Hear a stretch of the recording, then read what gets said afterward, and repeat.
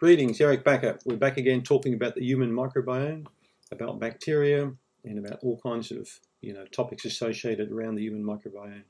And this series is about what we do know and what we don't know.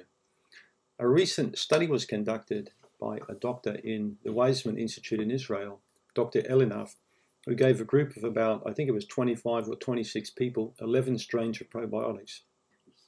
What the doctor did was he did endoscopy and colonoscopy on these people before and after the, giving them the probiotics.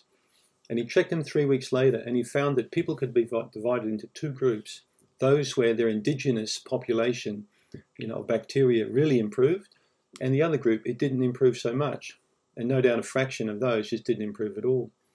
What you're probably not aware of with this study, which I believe is what's happened, when the people where it didn't take I believe these people had SIBO or Candida or some type of parasite. They had bugs there, in my opinion, that really needed cleaning up before things really would take.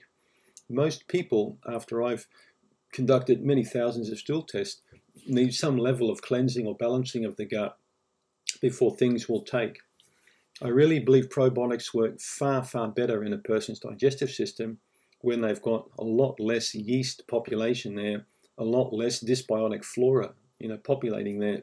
And this can often be, you know, pushed up through poor diet and stress and different things. So I've always worked from the premise that get the person cleaned up first. Put them through a few weeks of a, you know, a bit of a diet change. Don't push them quickly into a diet overhaul overnight. Get them through a slow, gradual process, which I call warm turkey, instead of cold turkey. So a couple of weeks we improve their diet, we get them to chew better, we get them to relax more, we get them to be aware of the other things and their intangible things in their life which can affect their gut. And then we, of course, put probiotics in there. And generally, in most all uh, cases, they will work quite well. So this just shows you how the study just basically looks at bacteria, you know, before and after, and how they can improve with a probiotic. But there's no mention in this study on Citrobacter or Klebsiella or Candida or any other things there at all. It's just basically pointing out the fact that some people probiotics work some populations and not with others. Probiotics can work for many people, I believe, by influence the pH of their gut, but also making people uh, much more aware to eat foods, the prebiotic foods, you know, that allow the probiotics to really take in the gut.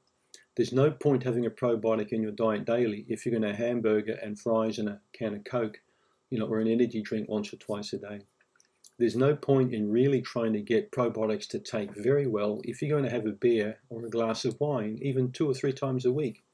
If you're serious about getting the gut in great shape, try and put those habits aside. Push the habits you know are not conducive to good gut health aside and focus on cleaning up the gut, eating good food, and then taking the probiotic. And when I see that occur with people, I see dramatic things happening. So, what we do know is probiotics work for some people, and what we don't know is why they don't work for others. And the studies will come out in future to show, I really believe, that people need their gut cleaning up and balancing and the diet changing before probiotics become really effective. That's what I know, and that's what I know through clinical experience. Many people I've worked with have told me they could never take probiotics until we did a stool test, cleaned up their gut, found out what was wrong, made changes to their diet, and then finally the probiotics would work, and we could actually see the counts increase on the stool test. And commensurate with those increasing in, in the probiotic count was also the fact their anxiety disappeared, the brain fog went away, the energy went up.